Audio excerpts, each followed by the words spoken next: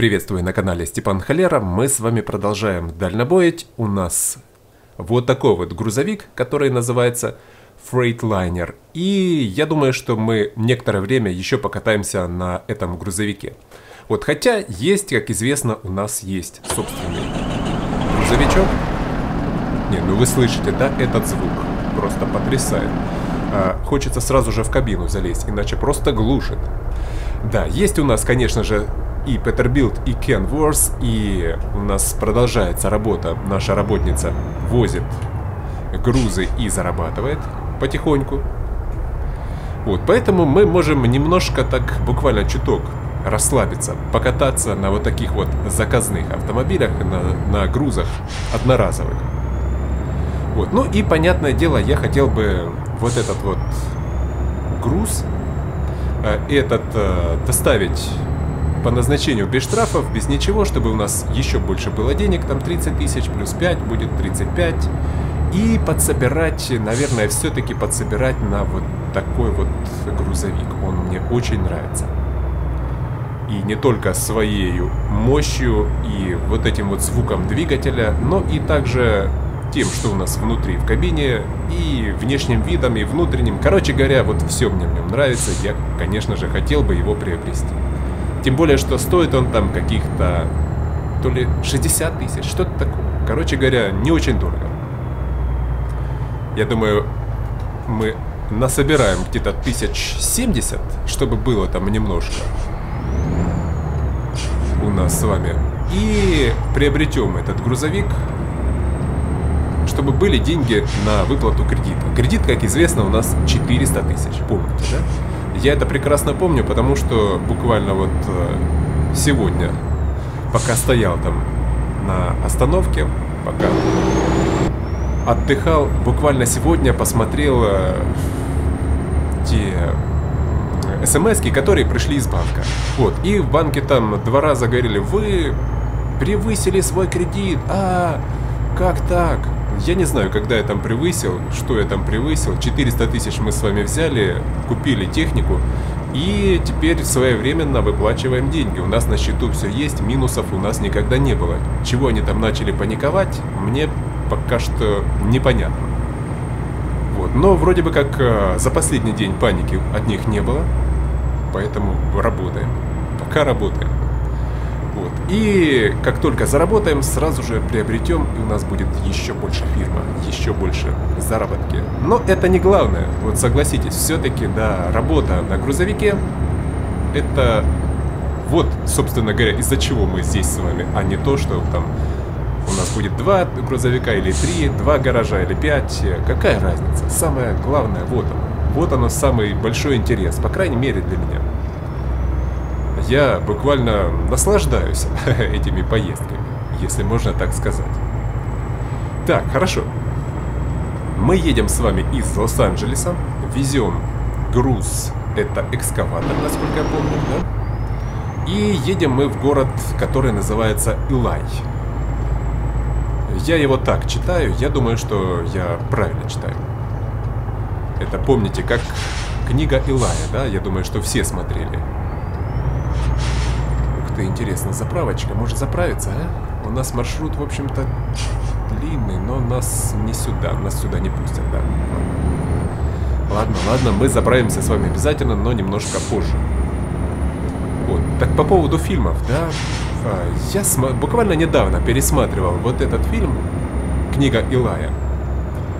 И он, э, в общем-то, у меня находится, ну, так скажем, в архиве, да, я его не удаляю, посмотрел и не удаляю, как э, другие фильмы, те, которые, ну, буквально на один раз, возможно.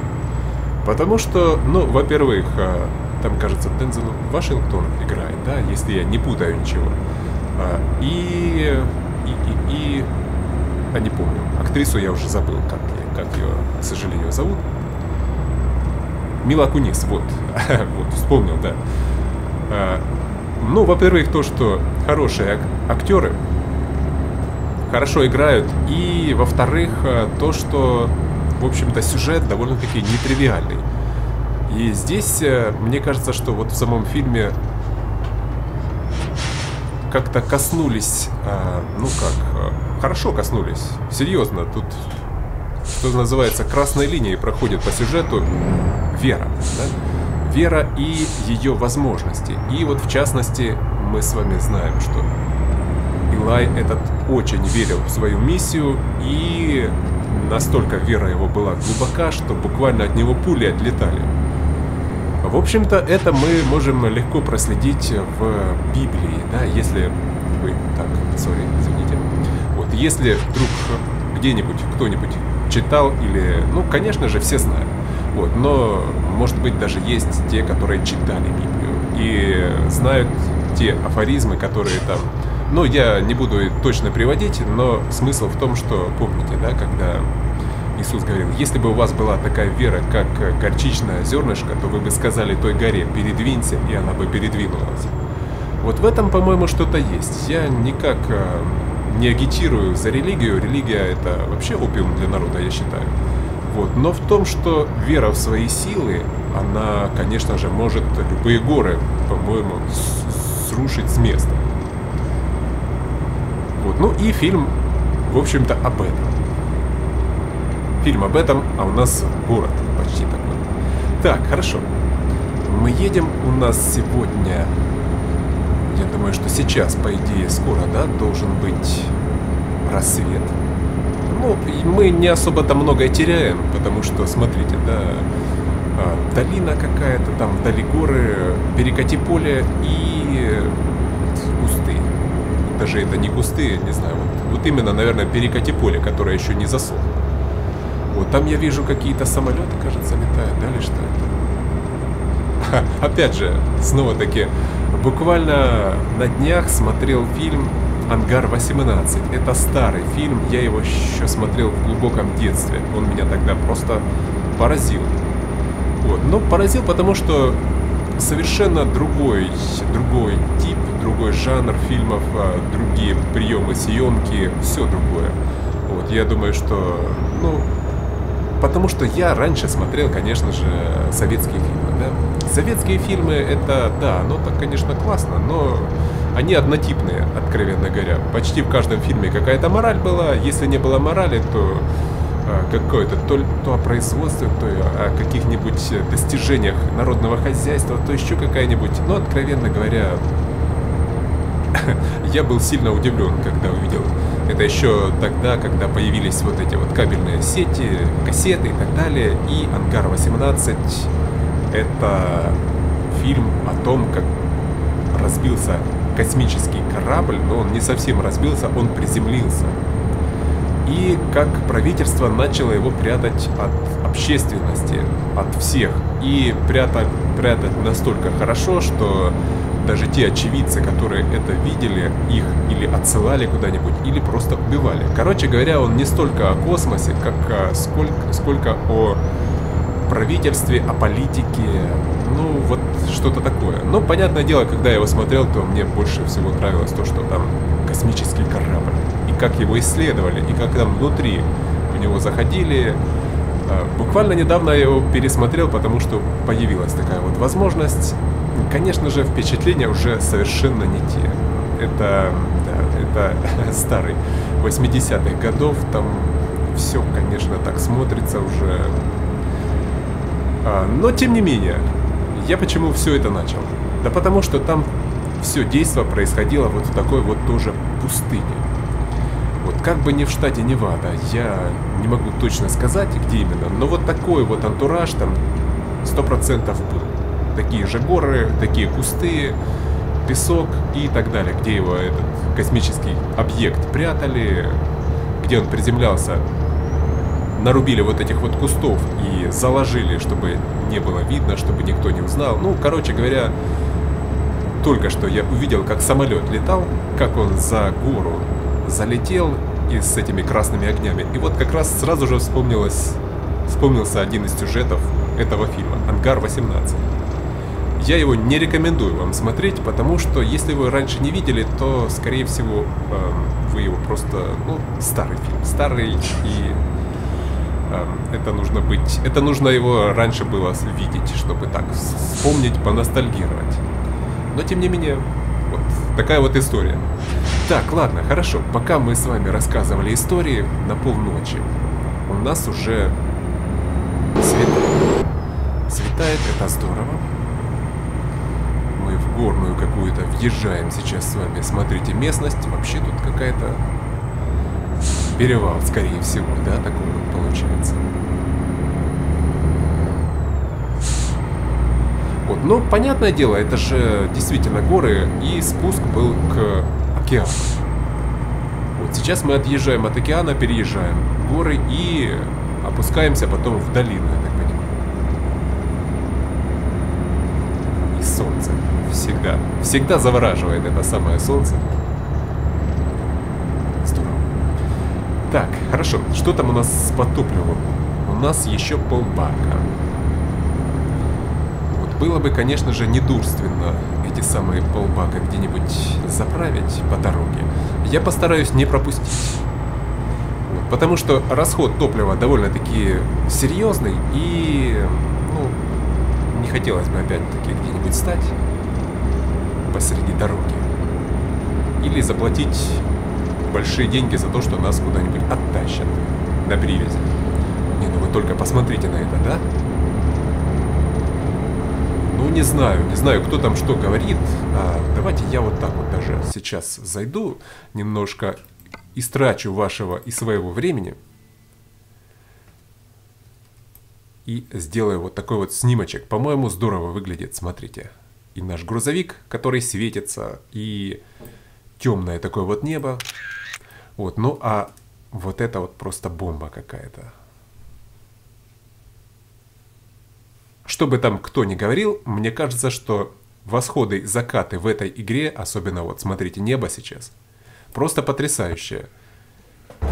Какому-нибудь Скайриму не то что далеко, он даже рядом не стоял с этими, с этими видами, которые здесь вот как небо реализовано. Не, ну серьезно, в Скайриме, по-моему, хуже намного небо, чем здесь. Вы не согласны?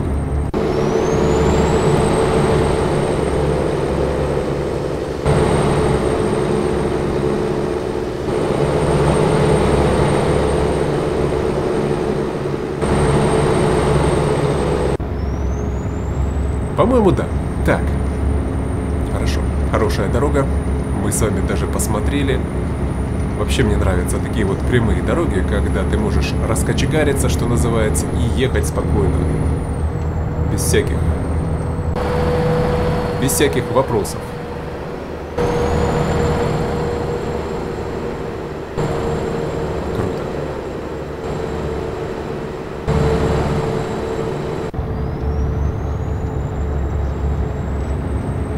Наверное, свет мы можем уже выключить, да? И, э, включим только габариты, чтобы виднее как-то было вот здесь вот.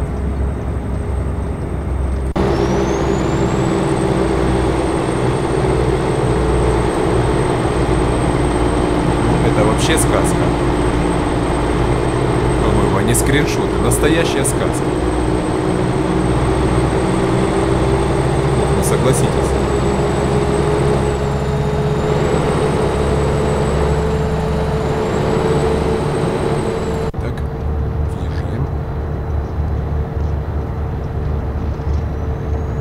В общем, мне этот грузовик нравится. Да мне пока что все грузовики, на которых мы с вами здесь катались, мне все нравятся. Понятное дело, что будет еще больше, еще больше, еще лучше. И вот тот грузовик, который вышел, Canvas V900, вот понятное дело, что его тоже я буду приобретать, а, но это будет уже, к сожалению, это будет уже не скоро или еще не скоро. В первую очередь все-таки Freightliner. Вот, там кто-то говорит, э, как-то произносят как-то по-странному название этого грузовика, но я, конечно же, его не проверял, но вот э, судя по правилам прочтения английской, английских слов, я все-таки прав. Freightliner он читается, а не Фред, а не Фрид и, и не как-то как там по-другому. Линер там кто-то мне писал и так далее. Так. Давайте посмотрим. Кажется, мы уже проехали большую часть, да? Судя по... Да? Да, смотрите. Мы проехали большую часть, правда, почему-то у нас а, не за счет, не знаю. Может, тут где-то я... А это что такое? Какой-то значок интересный. А, наверное, здесь а, у нас просто стоял этот значок для того... Ну, мы туда с вами заезжали, чтобы посмотреть, что там находится, засветить. И этот значок остался до сих пор. Ничего страшного, мы едем туда, куда надо. Я думаю, что мы успеваем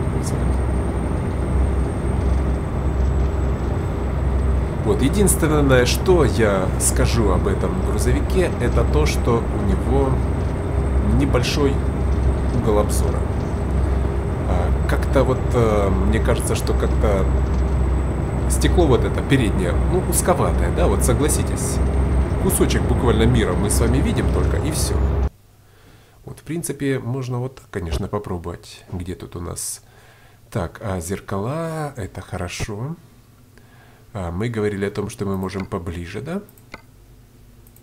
Вот так, тогда чуток шире у нас будет. Но, опять же, чтобы... А, ну, в принципе, я могу вот так. Почти. И вот голову опустить. Вот. Вот, так лучше. По-моему, лучше. Ну-ка, давайте смотреть. А, да, оно-то лучше, конечно, стало. Но как-то как-то немножко кривовато я теперь сижу, чтобы зеркала, видать, видеть. Слишком близко к рулю. Вот, но зато у нас больше обзор получился. Но мне, мне это как-то не очень нравится. Давайте мы все-таки вот так отодвинемся.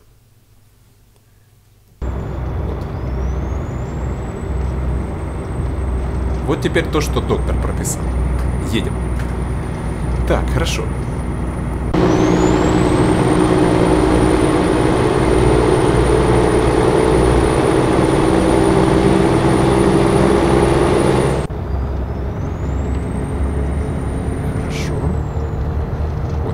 По дефолту я захожу назад в кабину, то зеркало смещается. То есть нужно еще чуток будет отодвинуться от руля.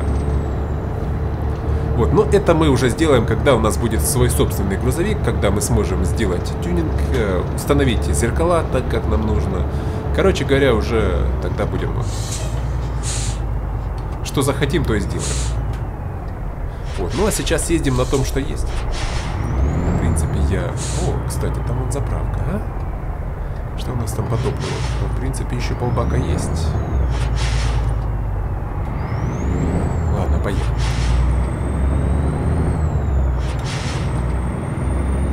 Поехали, еще успеем мы с вами на заправку, я думаю, что заехать, да? Сейл, смотрите, продается какая-то он такая вот непонятная. То ли раньше была заправка, то ли раньше была ферма. Вы бы хотели вот жить в таком месте, как только что мы видели, хибара продается? Когда выходишь, смотришь только кактусы везде. Горы. И жара. Жара настоящая, серьезная такая вот те, кто любят тепло, как там говорят, что жар кости не ломит, да? Покупать вот такие вот дома в теплых странах и жить, радоваться жизни. Никакого тебе отопления, никакого тебе утепления дома. Не нужно париться по поводу пальто, курток теплых, носков, ботинок и так далее и тому подобное. Есть в этом какой-то, по-моему, плюс.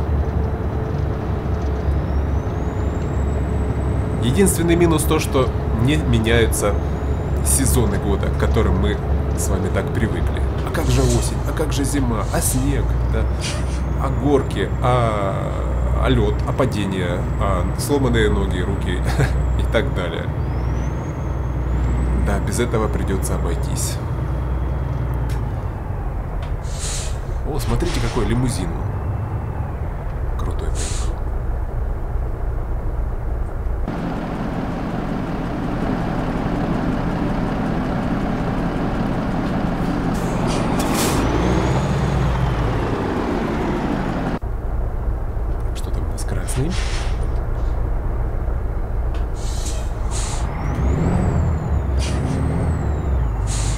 Довольно-таки далеко. Ну, ну куда ты поворачиваешь? Я ж зацеплю сейчас трактором. Довольно-таки далеко стал от линии, потому что, ну вы видели, да, стал, наверное, метров за пять. О, кстати, давайте заедем, а? Давайте заедем, потому что здесь заезд хороший. Вот, и нам в эту сторону ехать, и вообще платит хозяин.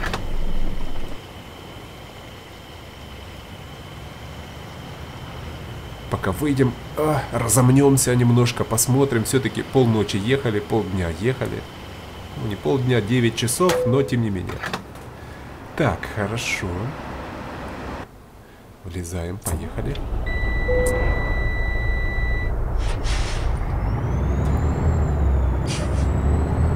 Вот, хозяин заплатил, помните, да, я как-то спрашивал по поводу того, что... Ну, мне говорили в комментариях, что вроде бы как э, все грузовики должны быть заправлены под завязку на тот маршрут. Я поехал. На тот маршрут, по которому мы с вами едем. Вот. Но оказалось, что это, мягко говоря, не так. Грузовик заправлен полный бак, кажется, здесь даже был. А может быть, был полный бак, но у нас-то расход довольно-таки большой и расстояние тоже не маленькие. Поэтому заправить физически его никак хозяину не удается.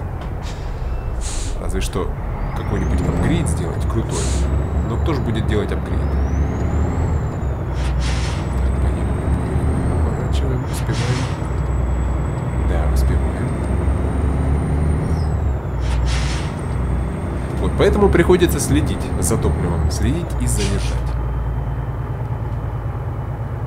Your plane, we paying, или что такое?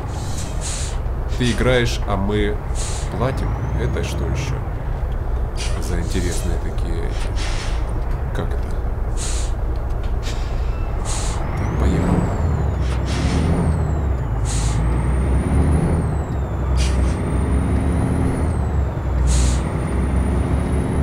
То есть это относится, наверное, к игре, конечно. За что же там платят? Я заплатил для того, чтобы поиграть. Я играю, я и заплатил. Так что тут этот э, такой билборд, тот, который был немножко там, по-моему, неправ. Разве что к, относится к игровому миру, да, к чему-то такому, чему-то американскому, чего мы, к сожалению, с вами не знаем. Кстати, да, вот после того, как обновили игру и немножко уменьшили ситуацию, когда у нас э, могут быть штрафы, когда нас штрафовали, как-то теперь стало немножко так полегче ездить, свободнее дышится. Вот. Ну, где-то ты там на 5 миль быстрее проехал. Ну, ничего страшного, никто тебя не оштрафует. А, помним, да? Когда только вышла игра, для меня это было таким вот, э, ну, потрясением, не потрясением, но было так немножко неприятно, что буквально за какой-то там шаг вправо, шаг влево, тысячу долларов штрафа. И даже там в минус мы с вами уходили. Полторы тысячи было, когда я нанимался работать на грузовик. И э, привез груз, и у меня минус тысячу. А? Думаешь, зачем я это все делаю? Зачем мне эта работа такая? Действительно немножко пофиксили. Может быть, это и не совсем правильно. Все-таки, когда правила есть, их нужно соблюдать. И я, вот э, я теперь вижу, я поборник больших штрафов. То есть штрафы должны быть такие, чтобы не хотелось нарушать. Вот. И то, что у нас а, штрафы такие себе, ну, чисто отмазка. Проехал на красный свет, заплати там, не знаю, 10 долларов но это, это фигня. Это фигня по сравнению с тем, что ты можешь э, вот таким вот несоблюдением правил, что ты можешь, э, каким последствиям ты можешь привести. Поэтому я считаю, что штрафы должны быть серьезные, очень серьезные. Ну, вплоть там до 1000 долларов. Проехал на красный свет, заплати 1000 баксов тебя там какой-то старый москвич, на котором ты ездишь за 300 долларов, отдай москвич и продай еще что-нибудь, чтобы расплатиться за штраф. Вот тогда те, кто ездят на старых москвичах, они не будут на них ездить. А те, кто нарушали правила, 10 раз подумают, а нужно ли? нужно ли ехать на красный, может все-таки постоять, а, 5 минут, или сколько там, 30 секунд, сколько там красный горит. Вот тогда только таким образом будут, по-моему, соблюдаться правила. И это не только касается дорожного движения, это везде. Все так. Вот. Но с другой, с другой стороны, также должны быть и справедливость какая-то должна быть со стороны полиции. То есть не должно быть каких-то наездов, да? а, не должно быть а, как это, а, коррупции, взяточничества. взяточничества. Вот. Вот такого тоже не должно быть. Потому что мы платим большие штрафы, мы платим налоги. Какого, что называется? Так, щелкнуло, это нам что-то перенесли. Денежка какая-то капнула. А я уже газ бросил. как раз за штрафы заговорили. И тут такие, это, а, такой звук, как вроде бы с нас снимают денежку Я уж подумал, может я что нарушил? Да нет. Нормально, даже меньше еду чем предполагается. 70 миль, а мы с вами едва плетемся 55. Так, еще прямая дорога, давайте мы еще посмотрим. Издеваемся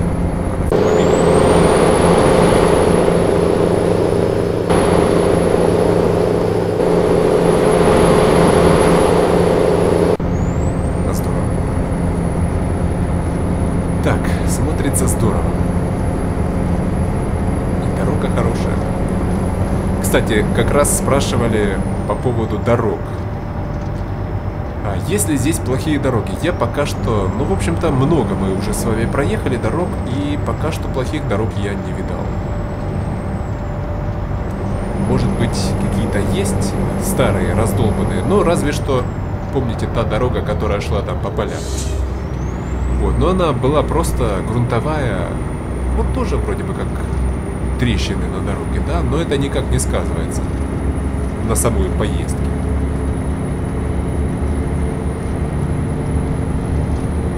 Наверное, вот э, только грунтовые дороги здесь могут быть плохими.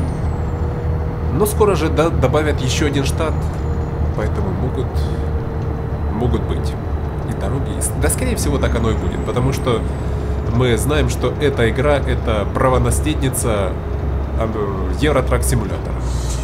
Вот, в Евротрак симуляторе есть разные дороги, и в частности, конечно же, и плохие тоже есть. Поэтому почему бы им здесь и не быть? Потом, немножко попозже.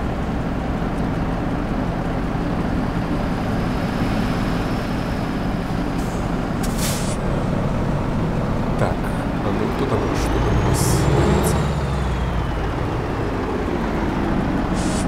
И, и не видать же сразу.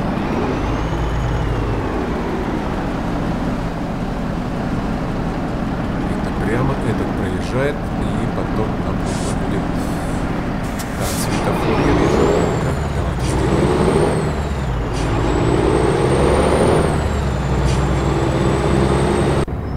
Вот, хорошо. Проехали, у нас уже, видать, пункт назначения. Буквально так вот за разговорами, затем за всем, пока смотрели по сторонам, наблюдали кактусы, перекати поле и так далее, мы уже почти приехали с. И таким образом заработаем еще 5000. Здорово, быстро, весело, по-моему. Да нормально. Вот, и я думаю, что я сейчас пересяду все-таки на свой грузовичок. А, денег мы больше зарабатываем на нем, все, все же, да, раза в полтора, в два. И таким образом за 2-3 рейса мы заработаем эти 65 тысяч, которые нужны для покупки фрейтлайнера. И я его приобрету, и тогда уж накатаемся. Накатаемся, что называется, в сласть. А, единственное, что хотелось бы, конечно же, еще немножко прокатиться. Может быть, а, я на грузовичок на собственный пересяду. А, кстати, вот он, смотрите.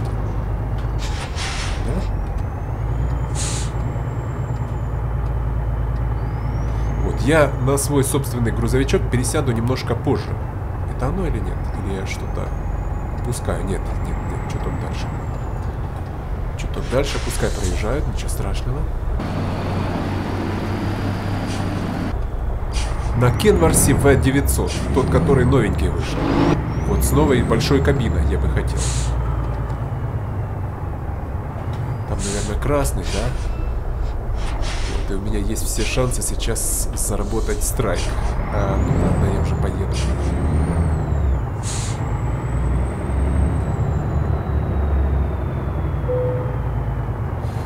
Так, а тут э, для того, чтобы его установить, поставить на место, тут нужно, в общем-то, не кисло постараться, по-моему. Нужно будет развернуться.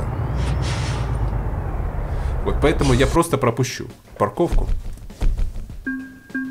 И того мы получаем а, 10 тысяч. Да ладно. 10 тысяч? Нифига себе, я думал 5. Неплохо. Мы неплохо с вами поработали. Круто. А если бы на своем все 15 бы, наверное, заработали. Ну и вот он наш грузовик. Вот, я хочу... Да, 35 у нас теперь тысяч, смотрите. Я хочу посмотреть по рынок.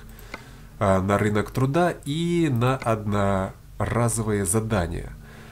И также я хотел бы проехаться на Кенварсе, этом на большом а, так, а, единственное, что из города... Из города... А, и, и, и, и, а нет, а вот он, вот он есть, все в порядке. Что у нас отсюда? У нас есть отсюда... А, но это немножко не тот, да? Т-600, Freightliner еще один. Так, а что-нибудь, эм, ну, например, вот э, где-нибудь отсюда. 579, еще один. Смотрите, это уже какой-то э, улучшенная версия, по-моему, да? Смотрите, какой красавец. Вот, Kenworth V900 Studio Sleeper. Вот что я хотел. Studio Sleeper я хотел попробовать. Мы с вами ездили на обыкновенной кабине. Вот, Kenworth T800 Aerocap. Тоже здорово, смотрите, смотрится, да? Офигенный. Вот, офигенен. Но все-таки хотелось бы вот этот попробовать. Давайте мы его возьмем и проедемся, в общем-то, правильно, вот по новому городу мы проедем с вами. Или рядом. Будем вести а, вентиляционная шахта. А? 5180. Давайте, давайте брать.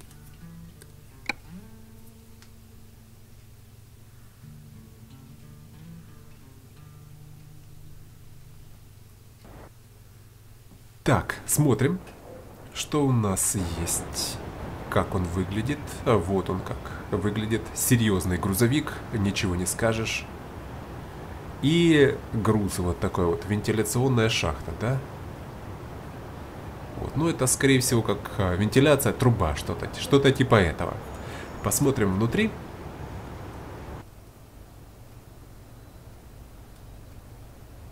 Тоже есть кровать, есть окна, а, но а, здесь небольшая такая вот кабинка. Я видел, что есть значительно больше кабины, а, где мы можем и телевизор смотреть, и столик там стоит, и два, две кровати. В общем-то, действительно настоящий дом на колесах. Но это тоже неплохо, согласитесь. Не нужны мотели. Вот сюда перелез и отдыхаешь себе.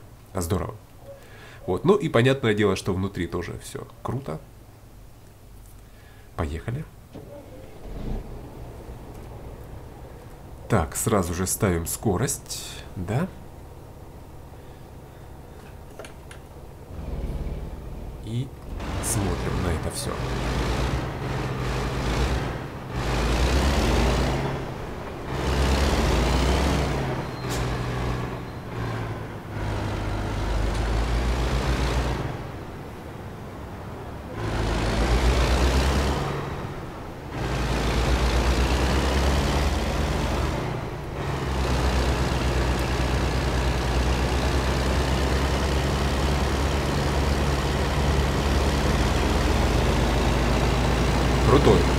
Согласитесь, крутой грузовик.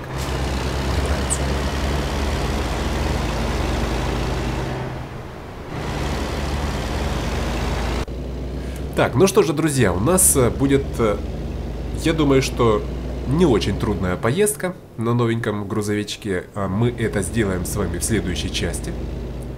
И потом уже будем пересаживаться на собственные грузовики. Я думаю, что недолго нам осталось ждать покупки еще одного нашего. И таким образом развития фирмы. Вот, встретимся в следующей части. Всем спасибо за внимание, всем удачи и пока.